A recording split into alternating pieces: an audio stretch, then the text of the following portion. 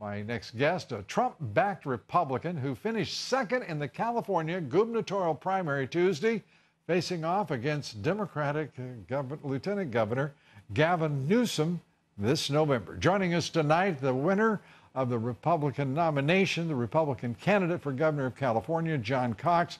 Uh, it is a delight to have you with us, and you embrace. It's great to be with you, uh, Lou. Uh, and I want to tell you, by the way, there's a lot of capitalists in California. I'm one of them. Well, and it's good to hear. Uh, yeah. And you're facing, what is it, a 20 point deficit in registration, though, throughout the state.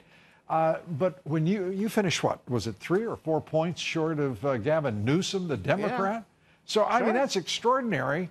Uh, and it has to, uh, well, fill your heart with, uh, with confidence as you look toward the midterms because you've overcome much. What's a little more?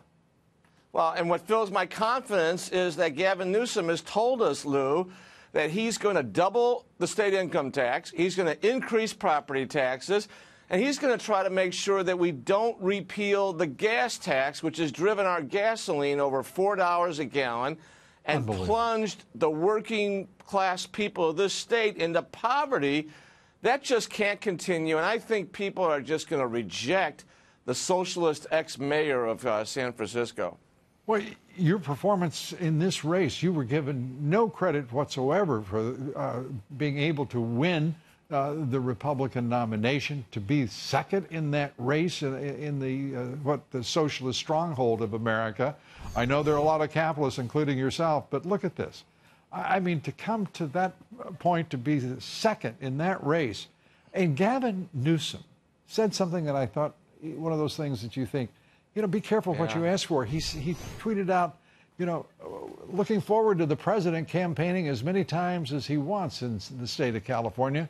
I, I had to believe that you were thinking that was a pretty good idea. Well, I do, and I talked to the White House today, and we're going to get the president here. You know, he, Gavin Newsom wants to talk about President Trump, and my answer is that that's what a craven politician does. I'm a businessman like the president. That politician, Newsom, doesn't want to talk about the incredible tax burden in this state. He doesn't want to talk about the cost of housing, which has led 46% of Bay Area residents to want to leave the state. He doesn't want to talk about the lousy schools we're spending billions on that are 45th in the country.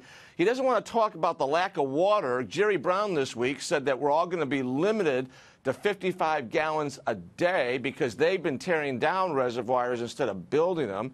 He doesn't want to talk about the lousy, crowded roads with full of potholes or the homeless living in our streets, Lou.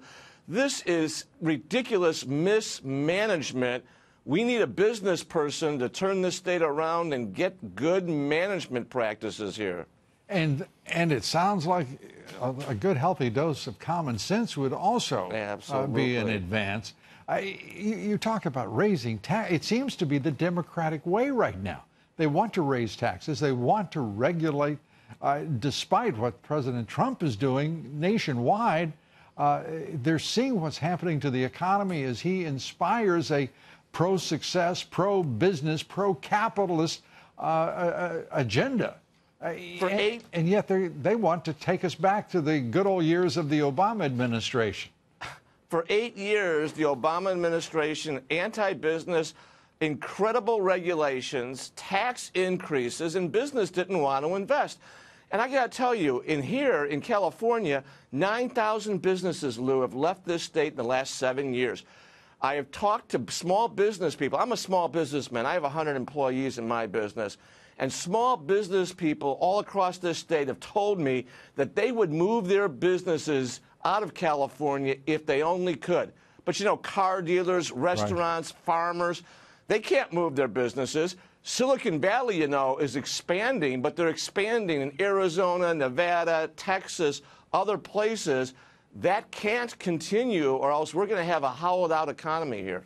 And uh, and I have to say, John Cox, I, you know, I just uh, we're, we're proud of you. I mean, you're defying odds and getting it done. Uh, my guess is the president will be excited about coming to California to support you. Uh, Thank you. And, and the decision uh, to support the Trump agenda, uh, I, I, think is a big lesson for everyone running for office. uh, whether it's state office or whether it's for Congress or the Senate. I, I think it's a, a lesson that they could learn from you. It's all about the private economy, Lou. I was a Jack Kemp uh, disciple. Right. Uh, uh, economic growth is the best path to prosperity. Uh, I, I started at the bottom. I had nothing. I had a single mom who was a school teacher in Chicago, and I got my own small business and made something of myself. I want every person in California to have the same kind of opportunities I did. The California dream right now is dreaming of moving to Texas. I want to restore the California dream so that everybody in this state has a wonderful opportunity to succeed and live an affordable, livable lifestyle. And we will when I win in November. Well, John Cox, we appreciate you being with us. Wish you all of the very Thank best. you. Thanks for joining Thank us. you, Come Lou. back soon. I will. John Cox.